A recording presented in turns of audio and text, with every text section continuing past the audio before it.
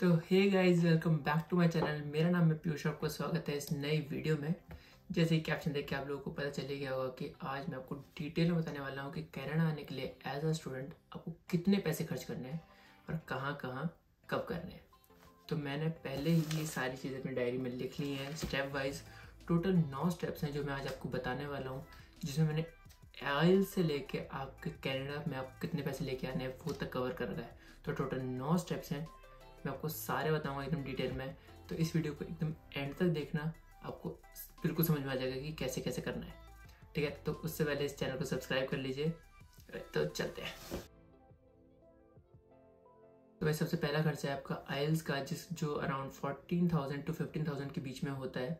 अभी रिसेंटली मेरे एक दोस्त ने एग्ज़ाम दिया है तो वो, उसका एग्ज़ाम होता है फोर्टीन थाउज़ेंड सेवन हंड्रेड का। तो हम अप्रॉक्स लेके चलेंगे हर चीज़ में, ठीक है? फोर्टीन से फिफ्टीन थाउज़ेंड के बीच में आपका आइल्स का एग्ज़ाम हो जाएगा। अगर आपको आइल्स के एग्ज़ाम को देने के लिए कोचिंग लेनी पड़ रही है तो आपको सिक्सटीन थाउज़ेंड के आसपास की कोचिंग होती है तो तब आपका आइल्स पड़ेगा fourteen plus sixteen thirty thousand के आसपास। जैसे मैंने खुद भी कोचिंग ली थी दिल्ली सीपी में ब्रिटिश काउंसिल से तो मेरा थर्टी थाउज़ेंड के आसपास आइल्स का पूरा निकल गया था। बट हाँ अब वो आप पे डिपेंड करता है। आइल्स आप एक बार देते हो, दो बार देते हो, तीन बार देते हो। जितने भी रीटेक सुलोगे एग्ज़ाम के लिए फोर्टीन थाउज़ेंड प्लस करते रहना। तो बेसिकली सबका निकल जा जैसे जिस जिसका एक बार ही निकल जाता है, उसके लिए थर्टीन थाउज़ेंड आई के एग्ज़ाम के लिए हो जाते हैं। अब दूसरे स्टेप में जब आपका आई का रिज़ल्ट आ जाता है, उसके बाद आपको कनाडा के किसी कॉलेज में अप्लाई करना पड़ता है। तो बेसिकली यहाँ के कॉलेज में एक एप्लीकेशन फ़ी होती है जो आपको देनी पड़ती है अप्लाई करने के लिए उन कॉलेज में। जैसे हम्बर सैनिका जॉर्ज ब्राउन इन सब में एप्लीकेशन फ़ीस लगती है। और इनकी एप्लीकेशन फ़ीस होती है हंड्रेड डॉलर्स के आसपास।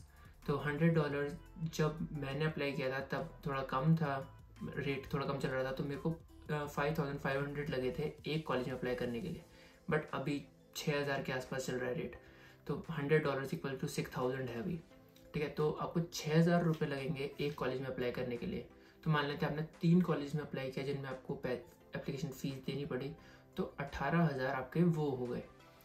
ठीक और बहुत सारे कॉलेज होते हैं जो फ्री में भी अप्लाई करा देते हैं बट कुछ में एप्लीकेशन फ़ीस लगती है तो एप्लीकेशन फ़ीस जो लगती है वो आपको हंड्रेड डॉलर्स के आसपास है वो मैं बता चुका।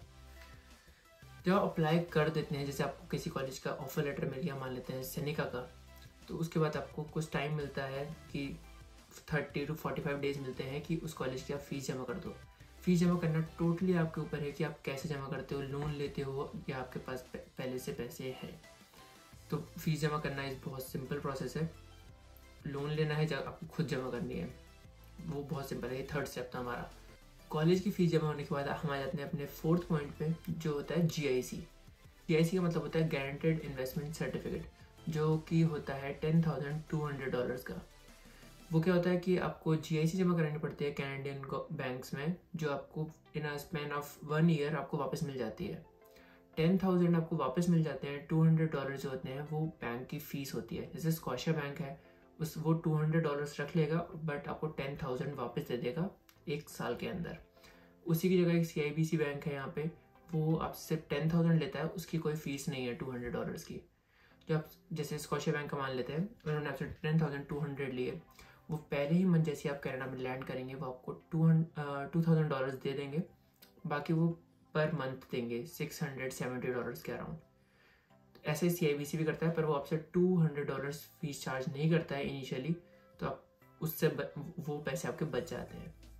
जी जमा करने के बाद सर्टिफिकेट लेने के बाद आपका फिफ्थ स्टेप आ जाता है हेल्थ का। आपको इंडिया में अपना मेडिकल कराना पड़ता है कहीं भी आप रहते हो। मेडिकल कराना पड़ता है उसकी फ़ीस होती है सिक्स थाउज़ेंड के आसपास। तो मेडिकल बहुत सिंपल है कि आपको जाना है, वो ब्लड टेस्ट आई टेस्ट जो भी टेस्ट होते हैं उनके वो करेंगे। उसकी फ़ीस होती है सिक्स थाउज़ेंड के आसपास।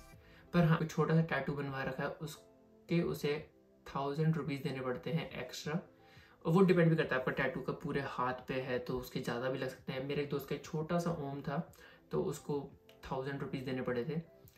तो मेडिकल भी आपका छः हज़ार में हो जाता है, और टैटू है तो सात हज़ार के आसपास। अगर छोटा टैटू है तो सात हज़ार। बाकी मेडिकल छः हज़ार का हो जाता है नॉर्मल नॉर्मली मेरा भी छः हज़ार का हुआ था। मेडिकल होने के बाद फिर आ जाता है हमारा छठा स्टेप छठा स्टेप है वीज़ा फाइलिंग का। वीज़ा फाइलिंग हम आठ हज़ार रुपये में हो जाती है। मेरे कंसल्टेंट ने मुझे लिंक दिया था। मैंने आराम से उस पर पेमेंट कर दी थी और वीज़ा फाइलिंग हो गई थी। उसमें ज़्यादा कोई कोई झंझटबाजी नहीं है। आपको सिंपली आठ हज़ार रुपये मतलब आठ हज़ार रुपये जमा करने और वो हो जाएगा। वीज़ा फाइलिंग के बाद आपका ए टू जेड सारा काम हो गया ऑलमोस्ट आपने आई से दिया। आपने कॉलेज में अप्लाई कर दिया कॉलेज की फ़ीस जमा कर दी जीआईसी कर दी मेडिकल कर दिया वीज़ा कर दिया। अब सातवां स्टेप आ जाता है फ़्लाइट टिकट का। अब कुछ स्टूडेंट्स वेट करते हैं कि वीज़ा आ जाएगा, उसके बाद ही अप्लाई करेंगे, पर मैं उनमें से नहीं था। मैंने बहुत पहले अप्लाई कर दिया मतलब बहुत पहले ही टिकट खरीद के रख ली थी। कम से कम छः महीने के आसपास छः महीने पहले ही खरीद ली थी दुबई की। क्योंकि मैं जब आया था, जब कोविड चल रहा था तो मेरे को टिकट चाहिए थी रखने के लिए। तो मैंने ख़रीद के रख ली थी बट आखिर में वो कैंसिल ही हो गई थी तो वो आपके ऊपर है। आप टिकट कैसे लेते हैं? अब टिकट का खर्चा ऐसा है, अभी मैंने टिकट के प्राइसेस चेक किए थे सिक्सटी टू सेवेंटी थाउज़ेंड के आसपास के टिकट हैं आपकी, अगर आप ख़रीदना चाहते हैं तो। बाकी जब जब मैं आया था, तब कोविड चल रहा था तो मेरे को डबल खर्चा हुआ था। मैंने वन लाख थर्टी थाउज़ेंड के आसपास खर्च कर दिया था, क्योंकि होटल बुकिंग और बहुत कुछ करना पड़ा था, क्योंकि मैं बाय मैक्सिको होता हुआ आया था, वहाँ पे दो दिन का स्टे वहाँ के खर्चे। बट अभी सब कुछ ठीक है तो आप साठ सत्तर हज़ार रुपये खर्च करके फ़्लाइट टिकट लेके सीधा यहाँ आ सकते हैं, कोई प्रॉब्लम नहीं है। तो अब हमने आठवें स्टेप पे चलते हैं। आठवां स्टेप है आपका भाई शॉपिंग का, अब वो तो भाई आपके ऊपर है। आपकी श्रद्धा है, आप कितना पैसे खर्च करना चाहते हैं। तो मेरे मेरे खर्च हुए थे around forty to forty five thousand क्योंकि मैंने ज़्यादा सामान नहीं खरीदा था। Phone A to Z laptop सब कुछ था मेरे पास। मैं इंडिया से ही अपना पुराना ही लेके आया था। थोड़े कपड़े खरीदे थे, थोड़े जूते। यूजुअली मेरे जो बड़ा खर्चा था वो था मेरे बैग्स का, क्योंकि मेरे बैग नहीं थे जो मेरे को लेके आने थे तो मैंने around five thousand four thousand के आसपास के मैंने एक एक बैग खरीदा था। तो मेरे आठ हज़ार के आसपास के बैग ही थे, ऊपर से कुछ पैंट शर्ट होते हैं खाने पीने का सामान मतलब जो भी आपको लाना है वो आप ला सकते हैं। तो हम उसका पचास हज़ार के आसपास जोड़ के रखते हैं। ठीक है कि फिफ्टी थाउज़ेंड की शॉपिंग हो ही जाती है कि थोड़ा ये, थोड़ा वो, थोड़ा ये। फिफ्टी शॉपिंग टोटली आपके ऊपर है, आप कितने पैसे खर्च करते हैं। उसके बाद आता है जो हमारा नाइन्थ स्टेप है, जो कि बहुत इंपॉर्टेंट है मतलब इंपॉर्टेंट भी नहीं, बच्चे थोड़ी गलती कर देते हैं उसमें तो उसको ध्यान से सुनना। जब हम इंडिया से आ रहे होते हैं हम अपने साथ दो हज़ार डॉलर ले आते हैं, ढाई हज़ार डॉलर ले आते हैं। मतलब ढाई हज़ार के हिसाब से मैं बताऊँ तो डेढ़ लाख रुपए ले आते हैं। तो भाई इतने पैसों की ज़रूरत नहीं होती है, क्योंकि कनाडा आते ही आप स्कॉशिया बैंक जाओ, आप अपने अप्लाई कर सकते हो पैसों के लिए, आपको दो हज़ार डॉलर मिल जाते हैं तुरंत। तो आपको इतने पैसे लेके आने की ज़रूरत नहीं है, बाकी आपके ऊपर है, ठीक है? इसमें मेरा कुछ कमेंट नहीं है। मैं अपने साथ सिर्फ़ फाइव हंड्रेड डॉलर्स लेके आया था मतलब तीस हज़ार रुपये और वो भी मेरे पास रखे ही थे, क्योंकि मैं जब आया था तब कोविड था तो हमें पता नहीं था कि स्कॉशिया बैंक कब तक खुलेगा। इसलिए मैं पाँच सौ डॉलर लेके आया था।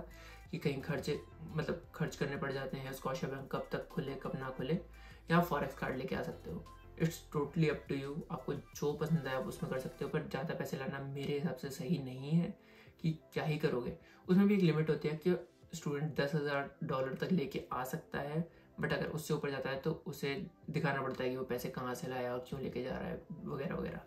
तो मैं तो पाँच सौ डॉलर लेके आया था, उसमें मेरा हो गया था क्योंकि स्कॉशिया बैंक में तुरंत ही चला गया था, कुछ दिनों बाद ही क्योंकि कोविड की वजह से फोर्टीन दिन मुझे क्वारंटीन करना पड़ा था। पर अभी वैसा कुछ नहीं है तो जितना कम लेके आओ उतना ज़्यादा सही है।